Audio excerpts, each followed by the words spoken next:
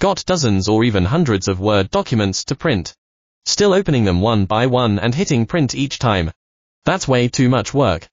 Today I'll show you two easy ways to batch print. Method 1. Use word trick. Put all the files you want to print in the same folder.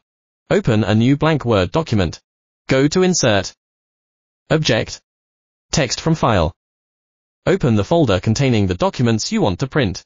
Press Ctrl and A to select all the files. Click Insert. Now all documents are merged into one file.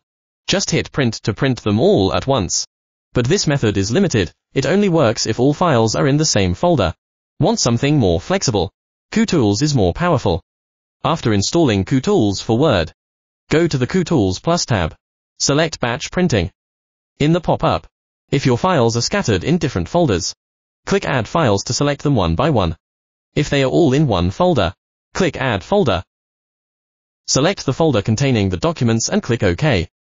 All documents inside the folder will be added to the dialog automatically. On the right, you can customize settings. For example, specifying the number of copies to print. Set the print range. Or choose reverse order printing. Finally, click Print. When done, a pop-up will tell you how many files were printed successfully. Click OK. And that's it, all your Word documents are printed, whether files are together or scattered. Kutools lets you batch print everything in one single window. Follow me for more Word productivity tricks.